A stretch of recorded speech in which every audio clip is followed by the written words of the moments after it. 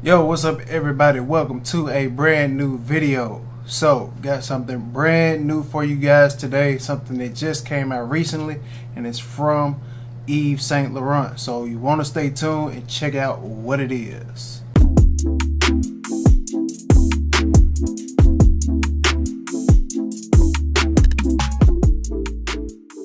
Welcome back to the video. To jump right into it like always, from Yves Saint Laurent, we're going to be talking about the new L'Homme Eau de Parfum. So, like I stated earlier, this thing came out this year, like very recently, and this thing does smell amazing. So, before we jump into the notes of this fragrance, let's go ahead and cover the presentation. As with all Yves Saint Laurent L'Homme bottles, you do have the silver cap with the YSL logo on the top and you still have the standard cylindrical style bottle. The color of the juice in this one, you have a orange ambery type of color which looks fantastic in my opinion.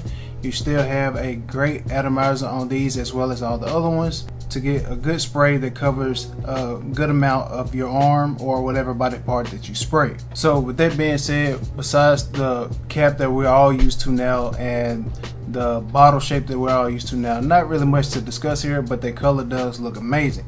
So let's jump into the notes of this one. There isn't exactly a perfumer that's listed for this one, but if you know the perfumer for this one, please comment it below.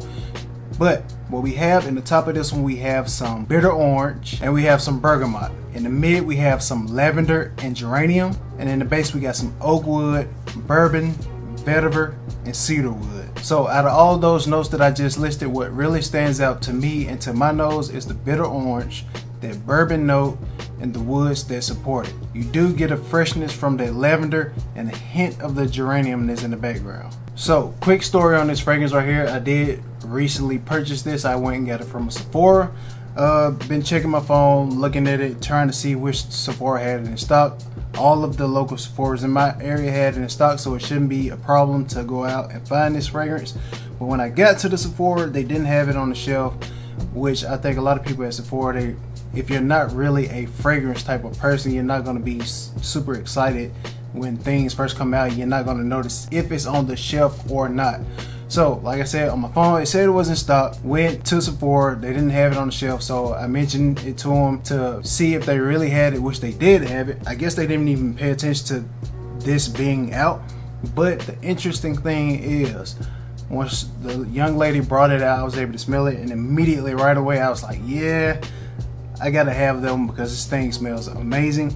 And another interesting note is that before she brought my personal one out to buy, they took the tester and it was like about three Sephora women behind the counter. They were looking at it, trying to figure out, okay, not figure out, but they were all looking at the fragrance because it was new and then they started smelling it and immediately I heard them. They was like, man, this smells really good. So three women right there, you know, all agreed that this fragrance right here smelled amazing. So to me, and my personal experience, what I really like about this one, because to me it is a date night type of fragrance, but this is one that, in my opinion, sits close to the skin. So it's good for those, you know, close contact moments. What I get is a buttery, smooth bourbon with some freshness from lavender and a bitter orange that stings the nostrils. That's what I get. On skin, I would say that upon initial spray, you're gonna get some good projection out of like the first uh, hour to two hours,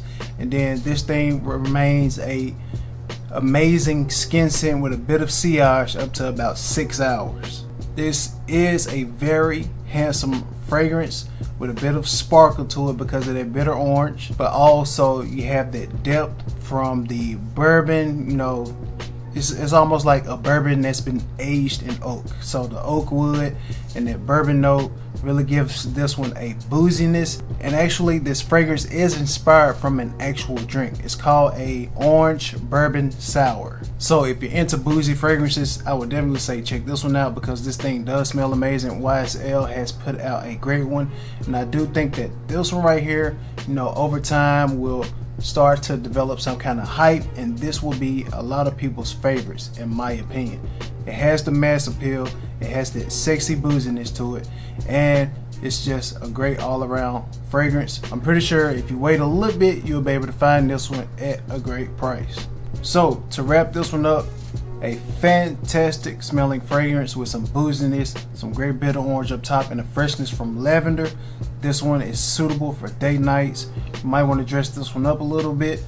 And you can also get some casual wear out of this one if you just want to smell good like me.